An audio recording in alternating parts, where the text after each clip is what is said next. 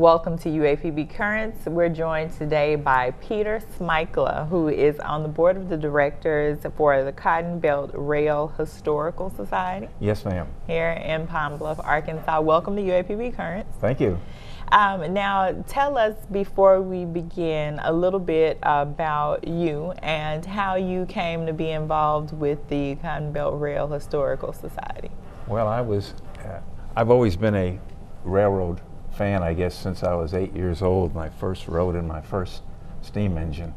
Uh, my father was in the stone business and he went to a quarry. And they took me along and they didn't know what to do with me while they were in their business meeting. So they put me in the fireman's seat and I spent the day going in and out of the quarry in Massachusetts. So that's where, I, where my love of railroads, I think, started.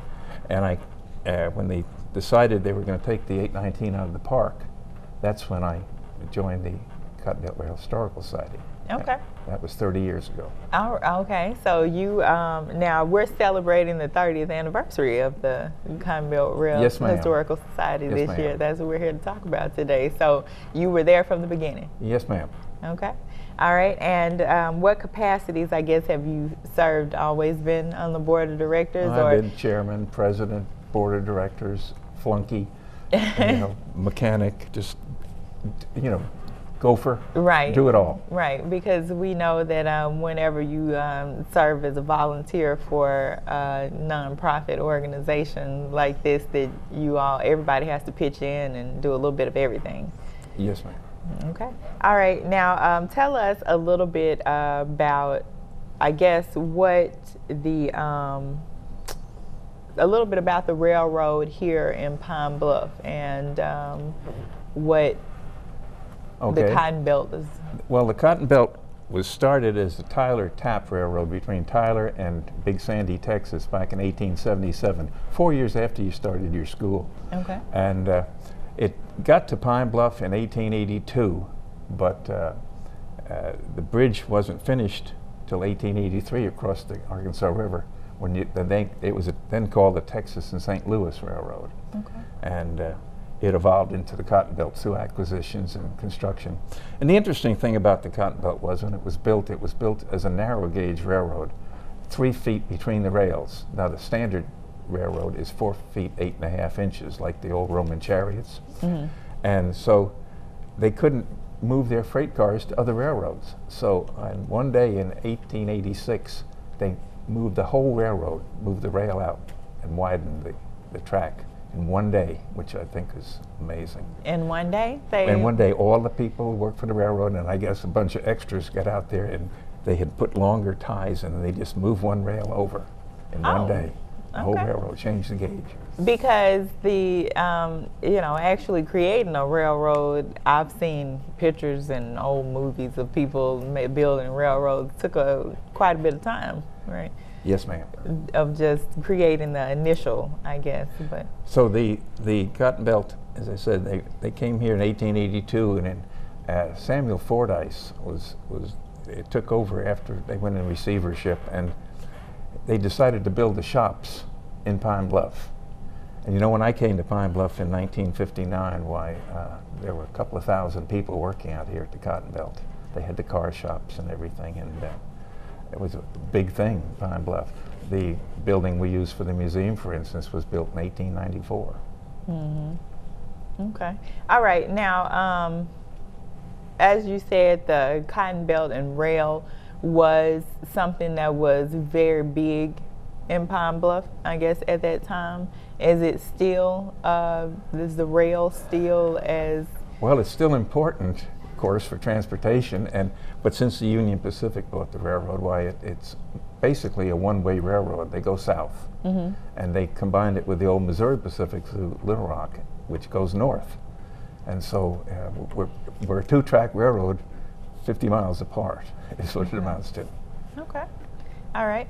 Now, um, what else when someone comes to the um, Rail Historical Society, um, what exactly is the experience that they Well, Yeah. the Arkansas Railroad Museum, uh, let's go back to the beginning. It was started, uh, let's go back even further.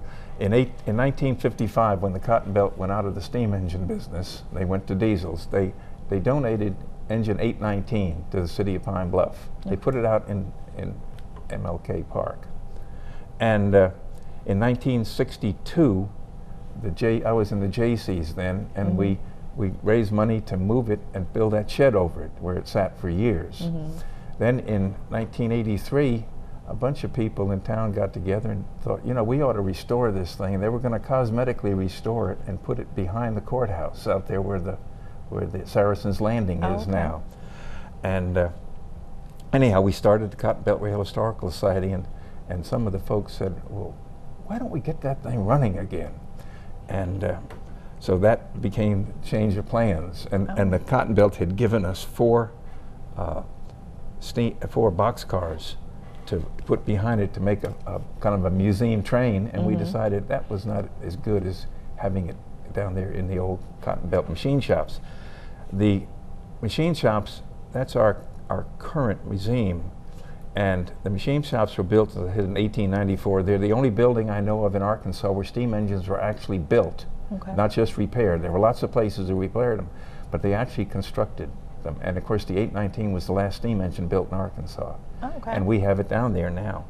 Uh, we ran from, uh, we, well, we took it down there, got it in, in there on December the 1st, 1983 and uh, spent two and a half years restoring it.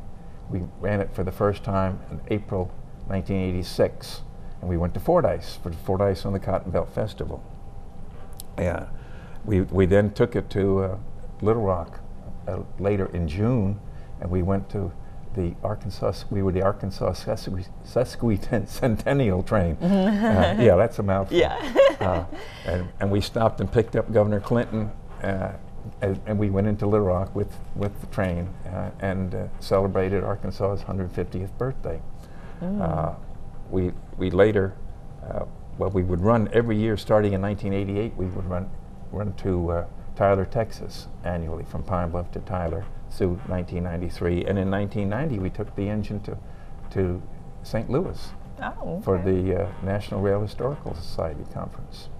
Okay. Now, what I guess exactly? Well, we won't get into that because we got to go to break in a second. So, but when we come back, I want to talk a little bit about what it actually takes to get a steam engine back up and running because I can imagine that there aren't necessarily, you know, the steam shops aren't running anymore here, and so they it wasn't an easy task, I'm sure. It was not. Okay. But of course, we had the cooperation of the railroad at that time. Okay. All right. When we come back after this break, then we'll find out what it takes to get a steam engine back up and running and a little bit more information about the Cotton Belt Rail Historical Society. We'll be right back on UAPB Currents.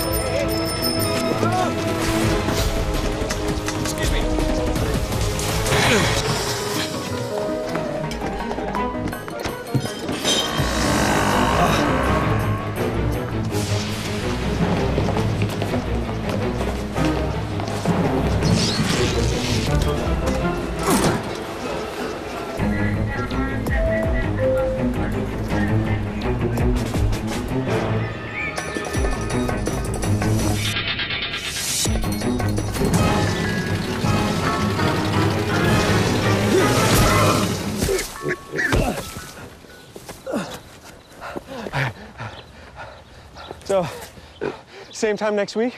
Well, of course. Put away a few bucks, feel like a million bucks. For free tips to help you save, go to Feed the Pig. Welcome back to UAPB Currents, and again, we're joined by Mr. Peter Smykla, who is on the board of directors for the Cotton Belt Rail Historical Society here in Pine Bluff, Arkansas.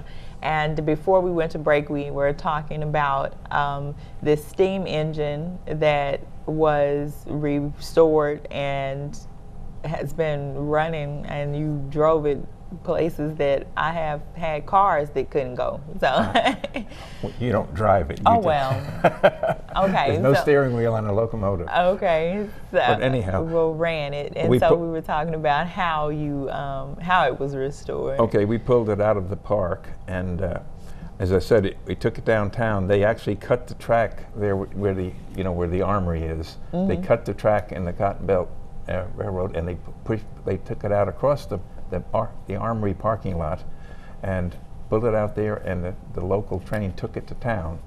And we got it in on December the 1st, 1983, and put it in the museum on the same track that it was originally built on, and started work on it.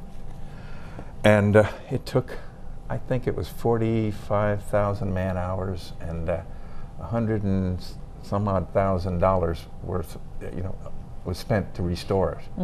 Uh, of course, a lot of it was help. We were helped by the Cotton Belt uh, Railroad. If it hadn't been for them, it never could have been done. And Mr. McClanahan was the superintendent, and he bent over backwards to uh, help us.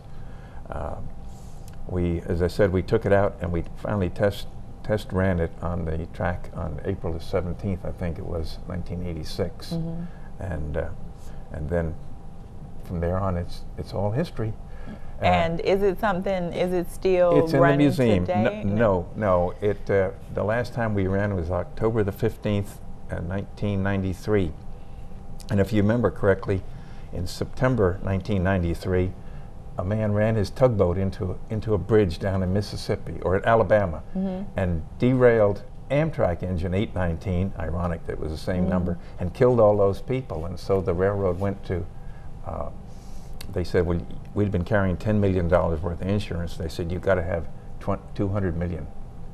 Well, A, you can't buy $200 million worth of insurance, and B, if you could buy it, nobody could afford to buy a ticket. Mm. So we went to the legislatures in Arkansas and Texas, and the Arkansas legislature in 95 and the Texas leg- legislature in 96 uh, passed laws saying we were only liable for the 10 million we had been carrying, which sounded really good and cheered us up. And then in September the 14th, 1996, the Union Pacific bought the Cotton Belt, and the chairman told Mr. McClanahan and me that we would not run that locomotive on his railroad. Right. And so it just sits there, and it was stripped down in 1973. The federal government mandates that you have a uh, 15-year inspection, and so it was stripped down. The boiler uh, tubes were taken out because they they needed replacing, and uh, we ultrasounded the boiler, and it wasn't pregnant, but it, the steel was also sound. I mean, that was the reason, obviously. You're right. Uh, a little humor there. Uh, but it, it sits there right now, stripped down, because it would cost several hundred thousand dollars now, and especially since we don't have the the, the, qual- the qualified people, as you said, are all gone. Mhm, uh, right. unfortunately, they moved up to the big roundhouse in the sky. Mm-hmm. but anyhow, uh, it would take several hundred thousand dollars, and so it just sits there, stripped down. But people can then see, since we do have it stripped down, you can go in the museum, you can see the parts. They're all labeled, so you know what, you know, if you're taking students there. And we have a lot of student groups come through. They, they see the parts and they know what a tire is or a driving rod and so forth and so on. Okay. All right. And um, that's a great segue for us to go into the Museum. historical museum, right? And um, so, um, what exactly is the purpose of uh, the museum? The Arkansas Railroad Museum was set up in 1983 to actually, first of all, to house the 819 and to uh, show Arkansas Railroad history. I mean, just to keep people informed because a lot of young folks just don't don't know that much about the railroad. Right. And there's a the history of railroads in Arkansas is very uh, varied and great. And uh, so we have a one and three quarter acre building, which is the old machine shop, and it is our museum. And we have, we're unique in two ways. We have uh, the only three pieces of cotton belt steam equipment left in the world. The 819, engine 336, which we took out of the park in Lewisville and moved up here and put in the building, and the old steam relief crane, which was the crane they used to pick up their mistakes. Uh, they, they, the Cotton Belt gave us the whole train just before the Union Pacific uh, uh, bought them, and so we have the the, the crew sleeper inside and the crew dining car inside, and the, Oh. the big 200 ton steam crane sits outside with uh, the rest of the cars. Okay, and so are those things that when you come to the museum that you are able to see the Oh, yes. sleepers and the dining cars? Or? Oh yes, yes. You can go in the, the, the cars. You can go in. Uh, we have uh, several, several. uh, We have a lot of pieces of equipment. We have three cabooses. We have a army guard car. We have a snowplow, and we have two locomotives, two diesel locomotives, and of course the steam locomotive.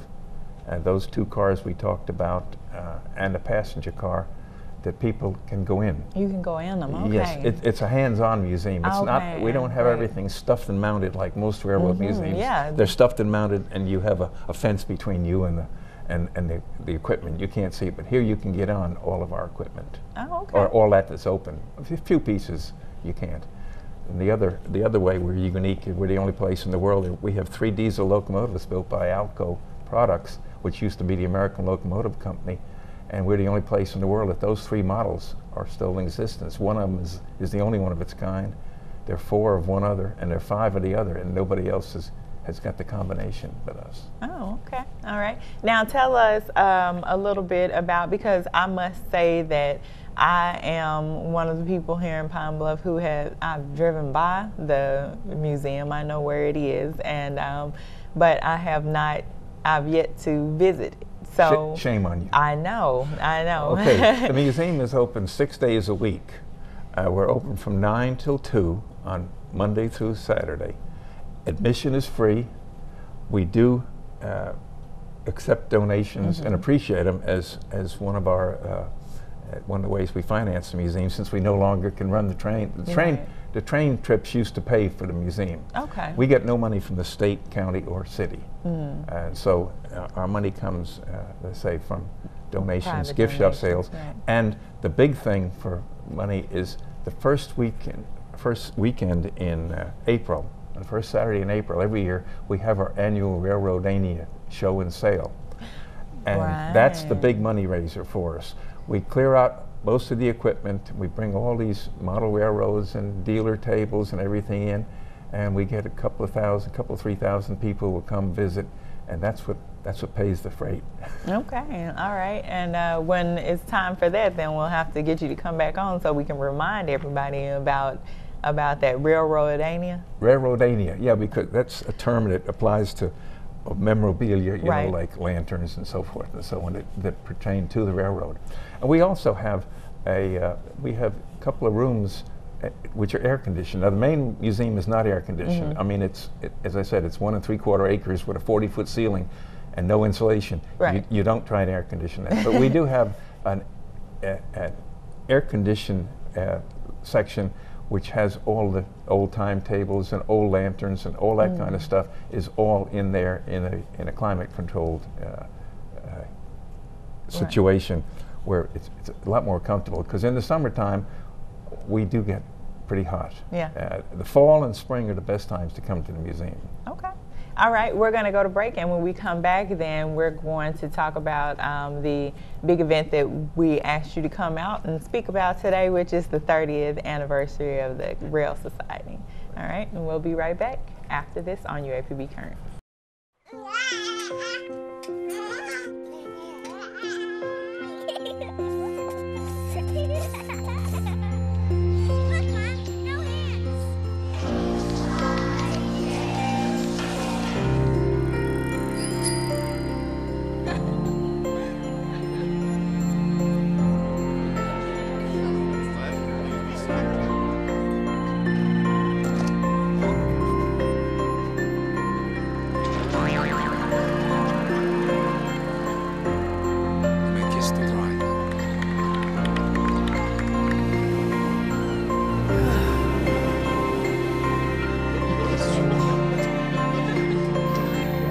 A full life, measured in seats, starts with the right ones early on. Car crashes are a leading killer of children 1 to 13. Learn how to prevent deaths and injuries by using the right car seat for your child's age and size. Hey, going out like that? Yeah, why? Well, what would the neighbors think? I see Look what I have. Mr. Bird, remember? Bark, bark, bark. We're just playing. We're just playing on trying to get you out of here. Even still. You don't have to be perfect to be a perfect parent. There are thousands of teens in foster care who don't need perfection. They need you. Welcome back to UAPB Currents. And again, we're joined by Mr. Peter Smykla, who is on the board of directors for the Cotton Belt Rail Historical Society, who is celebrating their 30th anniversary this year. And it's your 30th anniversary as well with them. Yes, ma'am. Okay. Um, so tell us a little bit about that event. All right, the event is going to be held on October the 12th, 9 a.m. to 2 p.m. The museum, of course, the normal museum hours, we will be open. We will have uh, an open house for uh, the whole community, or, or even more than community. You know, we get we get visitors from from 40 some odd countries in all 50 states, so Oh, we're open to anybody. Right. Uh, and so uh, we will have the, the mayor and I, I believe the county judge. I, I'm not sure exactly who all the people speaking will be, but there will be a bunch of wheels. Hopefully, the city council will be there, and uh, we, we'll be celebrating the fact that we've been there for 30 years, and uh, we think we've added something to the community besides just being informative. We are a destination for people. We bring money into the city of Pine Bluff. We're a tourist destination. As I say, we, we get people from all 50 states, and uh, the last person we, I think was last week, we had somebody, some people there from England. Not Okay. England, Arkansas, but England, England. Right. Right. And um, so, what are some of the other things? We talked about the hands on activities that you can um, have an opportunity to experience when you come to the museum, and you'd also gotten into the some of the displays and exhibits. Guess, everything will be everything will be open, and we will have volunteers there to show folks around, answer the questions, make up answers if they if we don't know the answers to the questions. Uh, I tell people that and usually get a laugh out of folks for that. And if you have any questions about it, you can call us at 870-535-8819. That's our that's the museum phone number. And Miss Miss Elizabeth will be happy to give you any information you need. If, Yes, if she would. uh, and so uh, we, uh, as I say, all the exhibits will be open. Uh, you will uh, volunteers. We would love to have more volunteers. Uh, if you have any any of the students who are who are interested in railroads and railroad history. Uh, and, and can spare some time between classes. I know I know classes sometimes are rather uh, you know time consuming. Right. But I don't know about Saturdays. Do you have Saturday classes at the university? Um, not often. Not So often. on Saturdays, if, if some could, wanted to come help, we would, we'd love to have volunteers. And I Right. say, And now, what exactly do, what purpose do volunteers serve? Um, what kinds of things would a volunteer look forward to being able to do? Because some people aren't necessarily comfortable, I guess, leading tours, but I imagine there are other things that you all need assistance with. well, that's, you know, we could, we could use help. We always can use help just in, in just maintaining the building. Right. That's, that's something we can always use. And there are some projects, like right now, we're, we're on a project to restore an, a Railway Express Agency truck, a 1957 truck that has been sitting out for years. Mm-hmm. And so we have people working on Saturday uh, who are restoring that truck. Oh, okay. And so, that's something that so you there are guys are things, personally yeah, there are doing. things, uh, who, fo- folks who are mechanically inclined could help us out, that'd be great. Okay, all right. We have an industrial tech department out here, and that that would definitely be something that they could um, probably assist with.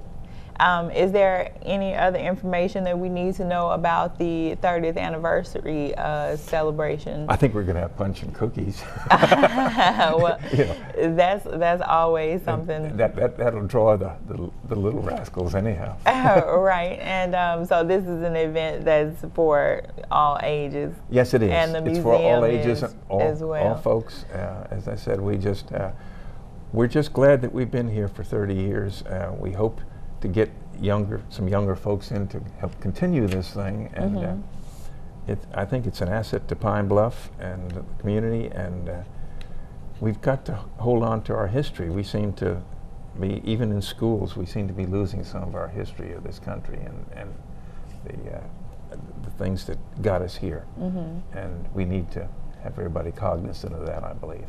Right.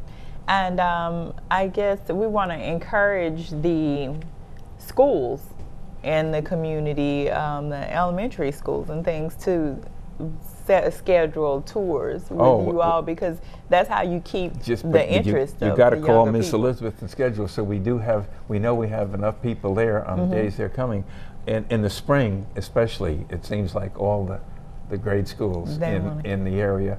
They all look for something to do in the spring, and right. they take field trips. Mhm. And uh, we are a field trip location. we, we get a bunch of them. Right. Uh, we'll have two and three groups a week. Mm-hmm. Okay. All right. Well, um, again, uh, thank you for coming and joining us and letting us know about the 30th anniversary and about the Rail Museum for people like myself, Shame, who haven't haven't been down to the museum yet. But We say y'all come. right, okay, and we'll come again those hours um, that Nine the museum two. are open. six days a week, Monday through Saturday. Uh, we, we, we, even if you had a group or something that it, it is imperative, we probably could even arrange to, to let you in on a Sunday afternoon, but you know, that's church time and so forth. Right. So. hmm Right. So um, call the number on the bottom of the screen and schedule a group event, a family event to go out Monday through Saturday, 9 to 2, and find out more about the rail here in Pine Bluff in Jefferson County. One other thing, we do have, we have family reunions that are held Okay. down there. We have the table facilities and so forth, and we do have groups, uh, and of course, we have groups when the, uh, when the pilots come in. Uh, Oh, okay. th- th- Mhm. we, they'll come down there and, and so forth. So uh, we're, we're open to all and waiting to see you. Okay, all right. Um, so they're, they're equipped and ready to go for any event that you have. And again, we want to congratulate you all on 30 years um, with your uh, society. And we'll be looking forward to you coming back and talking about Railmania in uh, April. And if you don't hear from us before then, then make sure that you all are there that first April.